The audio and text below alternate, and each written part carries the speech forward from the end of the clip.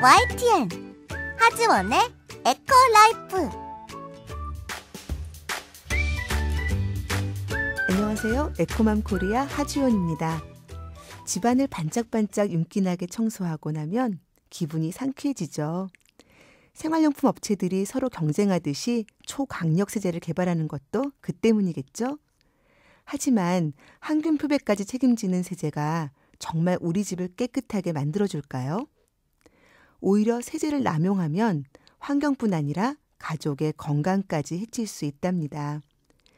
실제로 설거지를 할 때 쓰는 세제는 손에 닿는 순간 세포막을 녹이면서 화학작용을 일으킵니다. 이때 손은 급격하게 노화를 일으켜 주름이 생기기 시작하죠. 일본에서는 문을 닫아놓고 화장실 청소를 하던 주부가 사망한 사건이 있었는데요. 락스와 세제가 섞여서 발생한 산성가스에 질식한 거죠. 여러분들도 락스 때문에 머리가 어지럽고 속이 울렁거리는 경험 다들 해보셨지요?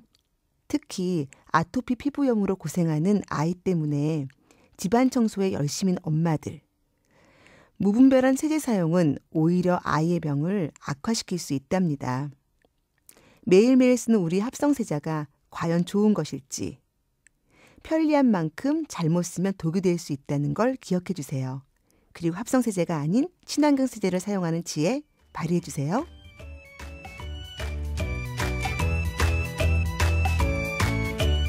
지금까지 에코맘 코리아의 하지원 대표였습니다.